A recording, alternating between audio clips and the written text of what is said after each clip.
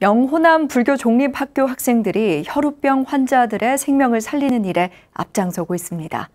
병마와 싸우는 친구들에게는 희망을 건네고 생명 나눔을 매개로 인연을 맺은 친구들과는 지역을 넘어 우정을 나누고 있다는데요.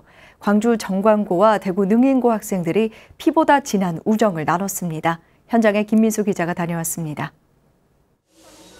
친구들과 천년고찰 화엄사 문화재를 둘러보고 신기한 마술 공연도 보며 즐거운 시간을 보내는 아이들. 코로나19로 혈액 수급에 어려움이 크다는 소식을 듣고 헌혈 캠페인에 동참한 불교 독립 광주 정관고와 대구 능인고 학생들입니다.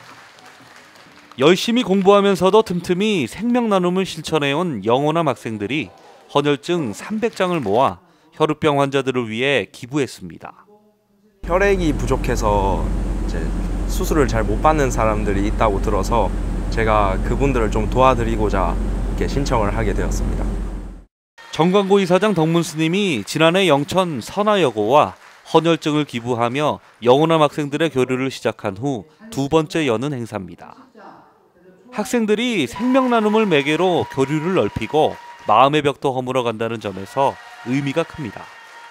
순수하고 또 맑은 이 영혼의 정신들이 하나가 돼서 우리 국민 모두가 더 잘 살 수 있고 또 기쁘게 살 수 있는 밑바탕이 될 수 있는 그런 자리가 앞으로도 계속해서 이어졌으면 좋겠고 능인학원과 우리 장강학원이 이 형제 자매처럼 늘 같이 함께하고 병마와 싸우는 친구들에게 작은 도움을 줄 수 있다는 생각에 동참한 학생들도 보람이 큽니다.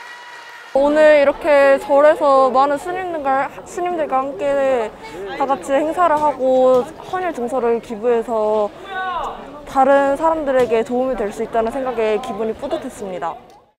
아이들의 자발적 동참에 정윤호 마술사와 SK 플라즈마 임직원, 화엄사 스님들도 헌혈증 기부에 함께했고 소외계층 지원에 앞장서온 기업 대표도 3천만 원을 후원하며 격려했습니다.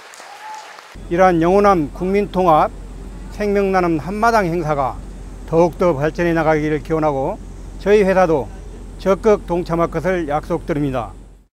부처님 가르침으로 인연을 맺은 학생들이 병마와 싸우는 친구들에게는 생명의 희망을 전하고 지역을 넘어 교류하며 불국 정토를 만드는데 앞장서고 있습니다. BTN 뉴스 김민수입니다.